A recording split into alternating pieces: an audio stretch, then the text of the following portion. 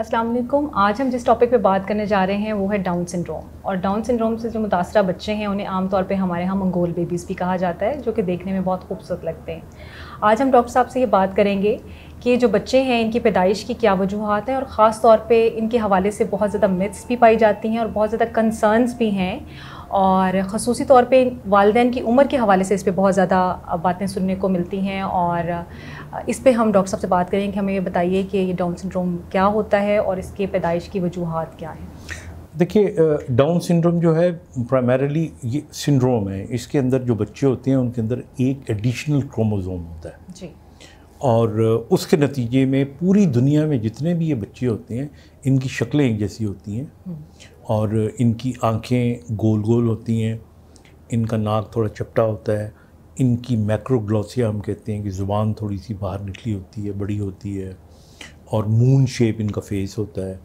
और इसके अलावा इनके अंदर एक और खूबी होती है कि म्यूज़िक आपने नोट किया होगा।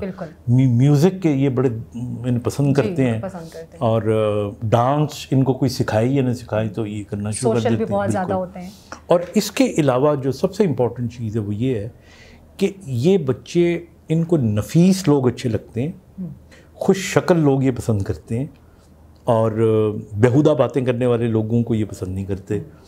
और इनको अगर इनके क्लासरूम्स भी हों इनके कमरे भी हों तो वो जितने कलर्ड होंगे पर्दे हो गए इनकी चीज़ें हो गई तो ये उसको पसंद करते हैं। तो ये बेसिकली और उनकी सेटिंग्स भी रीअरेंज करते हाँ रहते हैं। करते रहते हैं। ये इनकी एक and they are very lovable and they are very loving और ये तो इनकी हो गई।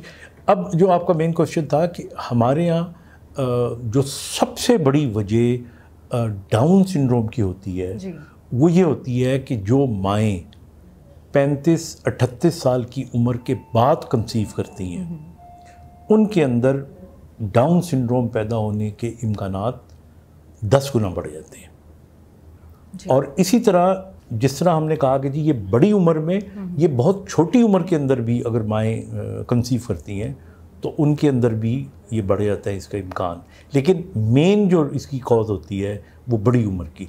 हमारे यहाँ जो पैंतीस से ले कर चालीस बैतालीस तरतालीस साल की उम्र तक आमतौर पे 45 तक ही होती है पॉसिबिलिटी कंसीव करने की।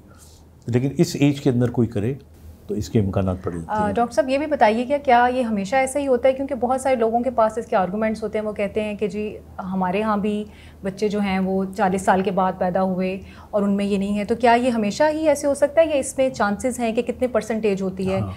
और इसी तरह से ये भी बताइए कि जो एक कंसीव करने के लिए एक ह्यूमन बॉडी है ये खातून का एक जो बॉडी है वो कितने उम्र तक जो है वो इसलिए इस काम के लिए तैयार हो जाती है कि वो एक नई बर्थ जो है उसको प्रिपेयर कर सके? I think answer to your first question is कि जब हम कहते हैं ना कि बड़ी उम्र की माँ औरतें अगर माँ बनती हैं कंसीव करती हैं तो ऐसा नहीं है कि हर औरत जो पैंतीस साल से बड़ी है ये चालीस साल की कंसीव करेगी तो अल्लाह ना करे उसके घर में डाउन ही पैदा होगा।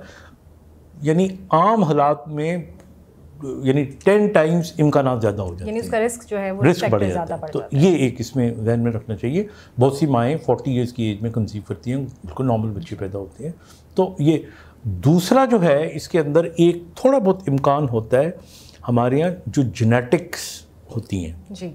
क्योंकि वो भी हालाँकि ये जब होती है माँ के पेट में जब बच्चा बन रहा होता है तो आपको पता है ना कि माँ की क्रोमोज़ोम और बाप के। क्रोमोज़ोम वो मिलते हैं और उसके बाद तो इसके अंदर एक क्रोमोज़ोम जो है वो एक्स्ट्रा लग जाता है। जी बिल्कुल। तो जिसकी वजह से ये सारी चीज़ें आती हैं। हमारे यहाँ जिस तरह आपने पूछा कि जो कंसीव करने की सही उम्र होती है तो वो तो 18 साल मतलब उससे पहले भी हो सकती है लेकिन जो सेफ़ समझी जाती है जिसमें कि खातून अपने आप को लुक आफ्टर भी कर सकती है that's between 18 years and 30 32 years मतलब ये कोई मेडिकल गिवन वो नहीं है। जी। ये इससे कम भी हो सकती है ज़्यादा भी हो सकती है। हमारे यहाँ जो बलूगत है वो तो 16 साल के बाद हो जाती है। लेकिन जो आज के हम मैसेज देना चाह रहे हैं वो सिर्फ़ ये मैसेज देना चाह रहे हैं कि बड़ी उम्र की जो ख़वातीन होती हैं वो कंसीव करते हुए ज़रूर सोचें। और बड़ी उम्र से हमारा मुराद है 38 टू 40 एंड 40 प्लस। मैं आपको यह बताता चलूँ कि मुझे याद है कि मेरी एक पेशेंट थी तो उसके यहाँ एक she about thirty eight years तो उसके यहाँ बच्ची पैदा हुई तो वो डाउन थी डाउन सिंड्रोम की। तो उसका मियाँ ड्राइवर था उसने उसको तलाक दे दी कि मैं कहाँ ये डिसेबल बच्ची को पालूँगी। तो उसने दूसरी शादी कर ली क्योंकि उसकी ना अम्मी थी ना अबू थे वो बिल्कुल अकेली औरत थी। दूसरी शादी जब उसने की तो उसके अंदर जो बच्ची पैदा हुई अगेन वो डाउन सिंड्रोम की थी। एंड वेरी अनफॉर्चुनेटली उसको भी तलाक हो गई। अब बड़ी बेयारो मददगार थी एंड अल्टीमेटली फिर एक कोई शख्स था तो उसने उसको पनाह दी उससे शादी की। एंड आप हैरान होंगे ये 1900 ये उन दिनों की बात है जब मियाँ अजहर जो थे वो गवर्नर थे। मुझे एग्जैक्टली exactly साल याद नहीं है। तो अब मियाँ नवाज़ शरीफ जो थे वो वज़ीर अला थे यहाँ के। तो वो तीसरी बेटी भी उसकी डाउन की पैदा हुई। जी। तो then they were in a very bad state और वो आदमी भी जो था वो तीन बच्चों को पाल नहीं सकता था। हम्म। तो मुझे नए नए ज़माने में बिग ब्रदर का टाइटल दिया था तो I went to the governor तो मैंने मियाँ अजहर साहब को कहा कि जी इस तरह इस तरह तो उन्होंने वो येलो कैब आई थी तो उसको एक येलो कैब दी उसको एक छोटा सा घर दिया।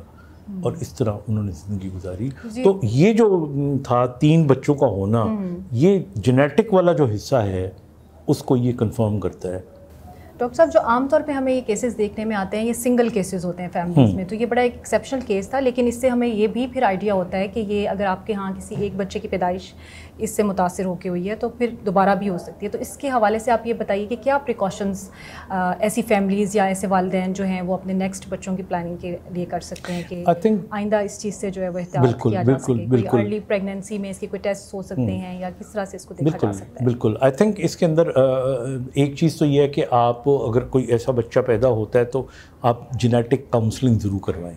जी।